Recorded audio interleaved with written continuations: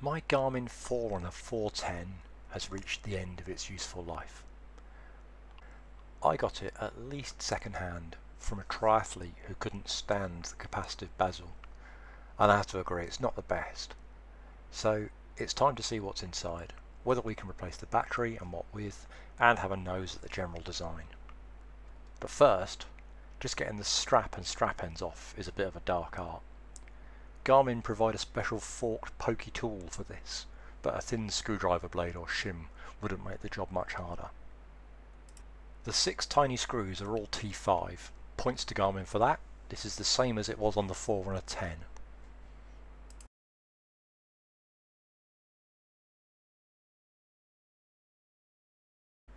One extra thing I need to deal with here is that this is a custom mod. I added a micro USB charging socket as I often needed to charge without the special clip. It's sealed on with Sugru, so I need to slice that off to access the front back seam.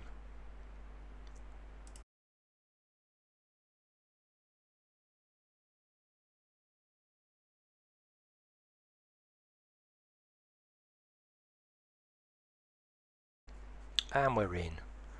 And we find a lithium ion rechargeable button cell battery it's a coin cell with solder tags. The model number is an LIR3048 or a PD3048. It's 3.7 volts and you can totally buy this on eBay. Unlike the 4 and a 10, this battery is actually soldered rather than drop-in. The tabs on the battery solder to the top of the charging board, which is under the yellow tape. I'm not going to do that right now, but I am going to reassemble this and check we've not tripped any anti-tamper parts.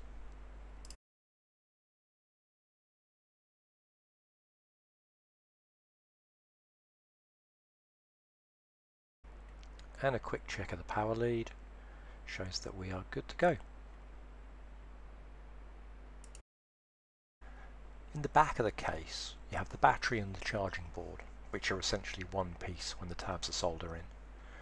The back also has two wires running to the round disc which I think is the ANT Plus antenna and two wires running to the charging pins.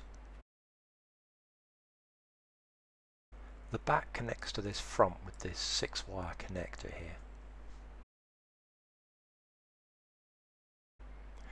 The front has two boards, the small GPS board in the strap and then the main board for the face.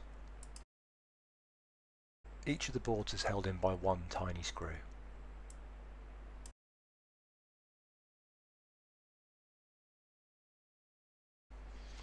There seems to be only a single wire running between the main board and the GPS board, which is a little bit odd. And then the main board has quite a fat ribbon cable running to the capacitive bezel and to the buttons on the side as well.